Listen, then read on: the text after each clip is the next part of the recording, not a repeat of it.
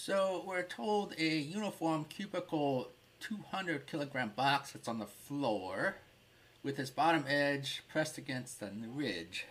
So we have this situation here, their box pressed here, and we're pushing on it um, with some force.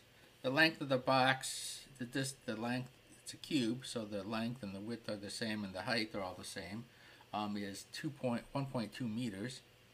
And we're told that it's uniform, so the center of mass is at um, L over 2 um, from this corner. And so we want to determine the force um, that you needed to push on this top edge in order to get the bottom to slightly come off the ground. So if we draw a free body diagram now, all, all the force of contact between um, this ground and the box now acts at this point A and the box is rotated a tiny bit theta and we'll assume that theta is practically zero or is very very close to zero. And so what we need to do is we have reaction forces here from the from the ridge but if we take moments about point A then those drop out of the problem so I haven't labeled them.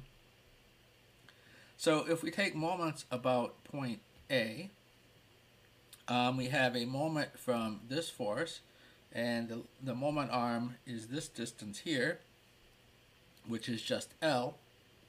And then we have um, and I've called this positive.